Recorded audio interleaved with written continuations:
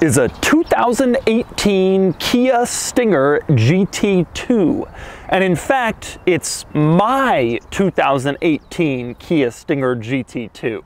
I bought this car to be my new daily driver, my everyday car to replace my Mercedes-Benz E63 AMG station wagon. And I think that I'll probably own it for around a year. Today, I'm going to explain why I chose the Stinger, and I'm also going to tell you what I like about it and what I don't like so far. First, let's start with why I bought the Kia Stinger, because you might think it's a little bit strange that someone with a Land Rover Defender and a Ford GT would get a Kia. My friends certainly do. Plus, it's rather weird for a YouTuber to get a car like this. Usually they buy a McLaren or a Lamborghini or a McLaren or a Ferrari or a McLaren or a new Corvette or a McLaren or, you know, a McLaren. But here's the deal. First thing, as you probably know by now, my current daily driver, my Mercedes-Benz E63 AMG wagon, is currently listed for sale on Cars and Bids, my new car enthusiast auction site for cool cars. I needed to launch Cars and Bids with something cool, so my AMG wagon was the one to go. Plus, it was getting to be time. I've had it for three years, the warranty is about to expire, and it has almost 90,000 miles on the odometer odometer. You can check out my video summing up my three years with my E63 wagon on my second channel, More Doug DeMuro, and you can check out my E63 wagon auction on Cars and Bids by clicking the link in the description below. So let me explain how someone goes from an E63 AMG station wagon to a Kia.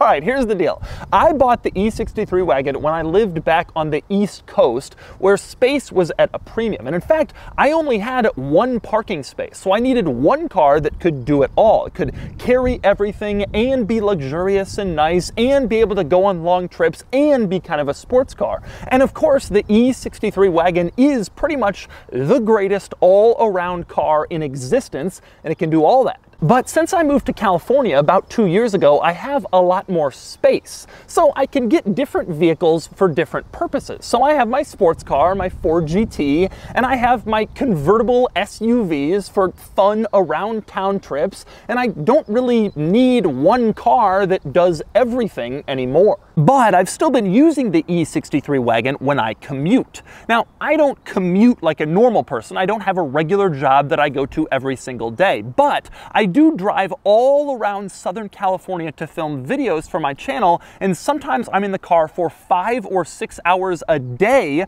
driving to various film locations. And the E63 has just started to make less and less sense for that purpose. For one thing, it has a rough and sporty ride, which I was willing to put up with when it was my do everything sports car, but now I really just need kind of a cruiser. It's also larger than I need. I don't have kids, a family, I don't really need a station wagon. Plus, I have extra cars if I want to carry stuff around. But most importantly, the E63 wagon is just radically inefficient for my purposes. It gets something like 18 miles per gallon on the highway. So I'll be sitting there going 70 miles an hour just cruising along, and I'm getting basically performance car fuel economy without actually using the performance of the performance car since I use my Ford GT when I want to actually go and have fun in a car. Of course, the E63 wagon was also starting to get up there in mileage, close to 90,000. The warranty is coming to an end, and I knew that I was going to be launching cars and bids, and I wanted that to be like the first auction on the site. So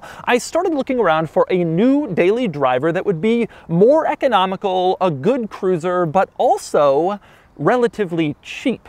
I say this because I hate, hate, hate spending money on daily driver cars that are just going to depreciate massively. A lot of people are always suggesting new daily driver cars to me, and they say, well, you know, why don't you get the new E63 AMG wagon? I would love a new E63 wagon, but I tell people I can't afford it. And they, they always say, what do you mean you can't afford it? Someone who has a $200,000, $250,000 Ford GT can't afford a car that costs half that? You know, other car YouTubers are always buying supercars and exotic cars, and it seems like every week they have some special new toy. Your channel is huge. What do you mean you can't afford it? It's just ridiculous.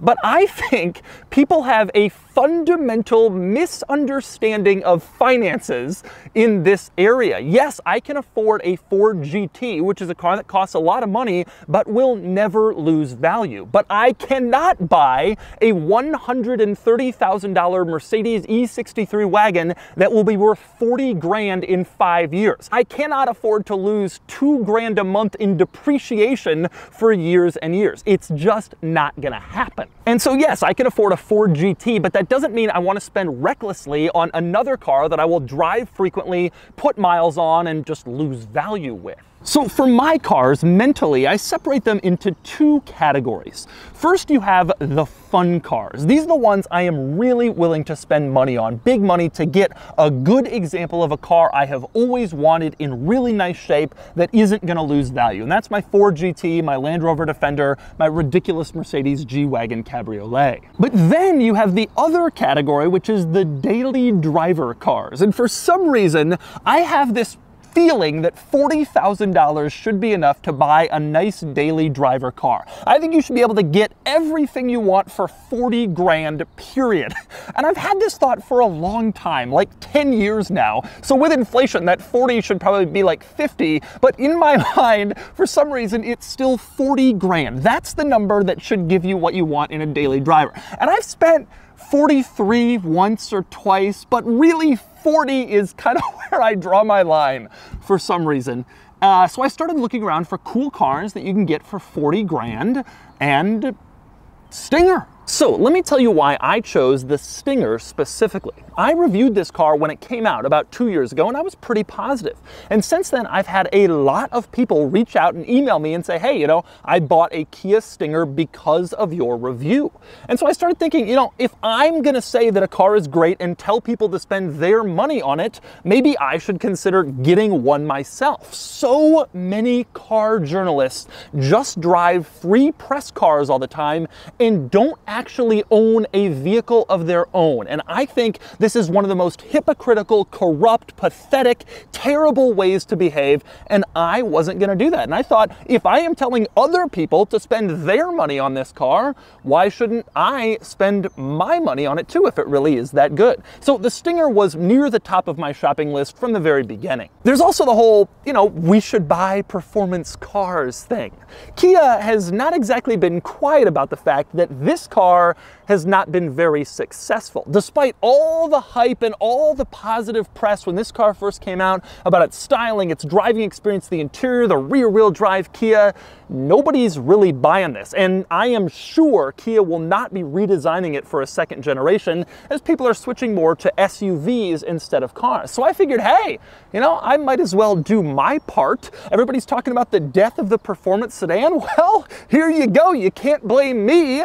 I did it. I bought one. One more unit from Doug. This car was also a bargain. This is a fully loaded 2018 Stinger GT2 with all-wheel drive, every option. It has a window sticker of around $52,000. Now, I actually bought this car back in January new. Even though it is a 2018 model, demand has been so low that this was sitting on the dealership lot for almost two years. So I'm the first owner in 2020 of a new 2000 2018 car. But anyway, $52,000 sticker price. I bought it for $37,000 and some change as a new car. So that's a $15,000 discount on a new car. And when I was looking for these Stingers, used models with some miles on them were going for about that money, as you can see from these screenshots from when I was looking. So finding a new car at that price was a pretty good deal. Even if it is technically two years old, it didn't have any miles on it. Plus, I always buy my cars in the press color, the hero color, the one that was used in all of the original advertisements. And for the Stinger, that meant bright red. But finding a red one is actually surprisingly difficult. Most people didn't go for such a bright color. So getting one at that price in the color I wanted was a pretty good situation. More importantly, this car is actually pretty good. No, it's no BMW M car or Mercedes E63 AMG wagon, but now that I have other cars for fun car duty, I'm pretty much only using this for long drives around Southern California to film my videos, and it's great for that. So now that I've explained why I bought this Stinger, let me tell you some of the stuff I like and don't like about the car after a few months of ownership and about 3,000 miles. All right, I'm gonna go over some of the things I like and the things I don't like about the Stinger. There are two big things in each category. Two big things I don't like and two big things I really like, plus some other small stuff here and there. So I'm gonna start with the stuff that I don't like, and one of the small things is that the fuel tank is really small in this car. I bought this car to drive long distances, and the truth is you can't really drive long distances without frequently stopping to fill up for fuel. So even though I'm getting much better fuel economy than my E63 wagon was, I'm actually at the gas station more often. It's weird because this is kind of a larger car and it's good at long distance cruising, but then the fuel tank seems like it wasn't really made for that. If most of your driving is commuting short distances to a nine to five job, probably won't be a problem for you, but if you spend a lot of time on the highway, you'll notice it pretty quickly. Now, another relatively small drawback in this car is that the interior materials aren't really that nice. Now, some of them are. There's some nice aluminum look buttons and trim throughout. There's some some nice stitching and a lot of stuff looks good, but you can also see some cost cutting in places. For instance, the floor mats look really cheap, probably because they are. There's a lot of plastic buttons in the center that don't really look that nice. The steering wheel has nice stitching around the steering wheel rim, but in the center you have this plastic horn pad that doesn't really look all that good. So you have some nice materials in here, but then some that just aren't really all that nice. For $37,000, $38,000, what I paid, that's fine, but at 52,000, the sticker price, a bit of a harder sell. But let me tell you my two biggest complaints with this car, by far the largest drawbacks I've noticed. One is the technology. Now, when I reviewed this car two years ago, I was very complimentary of the technology. I said everything in this car is really good, really up to date, really modern. Well, that has changed really quickly and it surprised me. So much new tech has come into the car industry that this car is starting to feel old. I'll give you some examples. The backup camera resolution is just not all that good. Not for a new car, although admittedly this is a two-year-old new car, but a relatively new one nonetheless. And there's there's no top-down 360 degree camera, which for a car at this price point, pointing out value as one of its benefits, it really ought to have. Now I'm told that camera arrived for the 2019 model year, but even in 18 it probably should have been here. But it isn't just that. The screen in the center is quick to respond to your touch, but it's very small. Small even relative to newer Kia screens, and so you have this kind of the flagship sporty sedan in their lineup with a worse screen than other Kia models. And it goes from there. For example, the gauge cluster isn't a full screen like it is in many other Kia and Hyundai models, even ones that cost less than this car. So this car already feels outdated. And you don't get that really cool Kia Hyundai lane changer thing where you put on the turn signal and it puts a blind spot camera in your gauge cluster. I drive this car around and I wish for that so much, but it was like one year too early. And so again, it feels outdated compared to other Hyundais and Kias. And another tech item I don't like is the heads-up display display gauge cluster interface because I feel that there's not much useful information in there. You get stuff like your tire pressures, the direction you're traveling, your current speed, fuel economy, but it won't tell you what music you're listening to. You have to look over to the center screen to find that out. I always like a car to have your current music right in the center so you can just change tracks without having to look over and see what song has just come on or what radio station you're listening to. And finally, this car's number one drawback, its biggest flaw above all others is the fact that it's a Kia. As I've been telling my friends that I got this car, the response is usually either laughter or why would you get a Kia or what are you thinking? Or some of them don't even know this car exists. Obviously they know Kia, but not that there's a performance oriented sports sedan in the lineup. Now obviously I don't really care about this all that much. I have a garage full of cool cars. It doesn't really matter all that much to me, but someone who's spending $50,000 on a new car, their only car, it's hard to justify getting a Kia. Someone spending that kind of money usually wants a luxury brand that they can show off to people and kind of show people that they spent that kind of money. Now, whether or not that's what people should be thinking, I spent this much money and I want people to know about it, that's a different conversation. That gets into psychology and inferiority complex and the human psyche and wanting to be better than their friends or whatever. That's a whole other thing. But it probably is what people are thinking. It's just a tough sell spending over $50,000 on a Kia. And I've seen firsthand how people respond when you tell them you bought a Kia instead of a BMW or a Mercedes-Benz at this price point. It's just kind of a hard sell. And to me, that's probably this car's biggest fault. No matter how good this car is, it's just difficult to convince people to choose a Kia when for the same money you can get various other established luxury brand vehicles. But with that in mind, this car is pretty good. So let me tell you some of the benefits, some of the things I like about this car. Like I said, two major ones, but I'm gonna start with the smaller stuff. One is fuel economy. I've been averaging 25, 26 miles per gallon on the highway. That is not a very good number, but compared to where I was before in my station wagon, averaging 17, 18, it is a huge, huge benefit for me. And I find that to be fantastic, especially for a car that's this powerful and this enjoyable. Next up, another benefit with this car, small, but a tangible one is its warranty, which is really impressive. Powertrain is 10 years or 100,000 miles of coverage, and you also get five years or 60,000 miles of bumper to bumper comprehensive coverage, which is just fantastic. The best warranty in the industry and way better than you'll get with any German sports sedan, BMW, Audi, Mercedes-Benz, but even Lexus and Acura and brands like that. And next up, another rather small but tangible benefit, it is roomy in here. The front seat nice and roomy, a lot of space. The back seat, nice and roomy, a lot of space. And you don't have a trunk back there, you have a cargo area. It's like a hatchback. You can lift it up, fold down the seats, and you have more space than you would in a 3 Series or an Audi A4 or other vehicles at this price point. But to me, the two biggest benefits of this car are two very big benefits. One is the fact that it's good looking. It is a really, really nice looking car. Even my friends who are into Audi and BMW and laughed at this car, they've pretty much all admitted that this is a nice looking car. Nice design, nice styling, pretty much every angle, every line just looks good. I personally am not a huge fan of these wheels, but that's a minor point in an otherwise really nice design. And I think that's a big selling point of this car to help overcome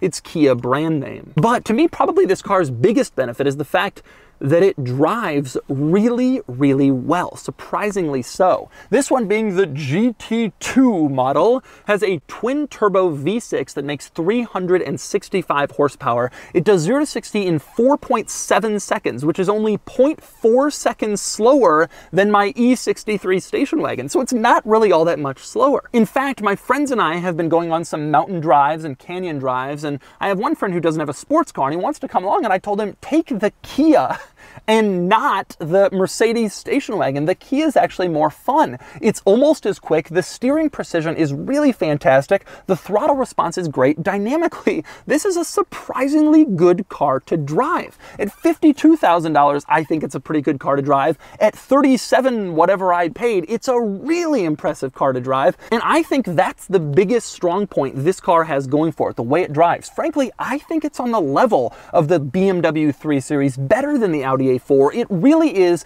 a great driving, great looking car. And frankly, that's a lot of what you want from a vehicle. You just wish it didn't have a Kia badge on the front. So that's my new car, my 2018 Kia Stinger GT2. I don't plan to keep this car for very long, probably only about a year, as I have my eye on something else, which I will discuss with you soon. But I like this car. It's been surprisingly good, especially for what I need it for, and it's a pretty good deal. And as these things age on the used market, they will become even better deals. So I highly recommend adding this to your shopping list if you're looking for kind of a fun, sporty, family-oriented car. If you're like me, it will probably the only GT2 you ever own.